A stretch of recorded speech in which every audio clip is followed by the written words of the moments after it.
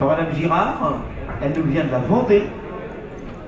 Idole du Taber, c'est une voilà de nos sur Nazca.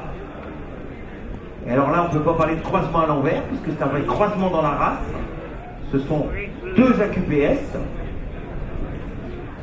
Voilà de nos et Nazca.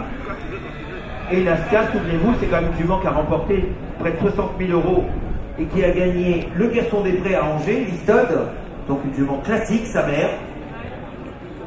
Elle a produit pour l'instant un vainqueur d'Amara de Taber.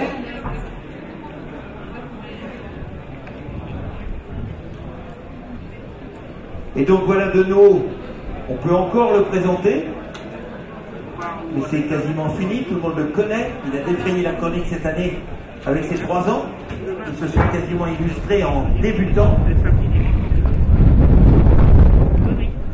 Il a déjà un vainqueur classique, gagnant du brillant, Oli. Au s'il vous plaît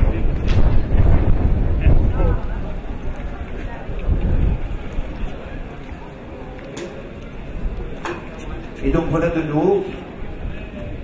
Et comme son nom l'indique, est entraîné par euh, Guy de nouveau, et surtout fait la montre près, au Haras du Lion,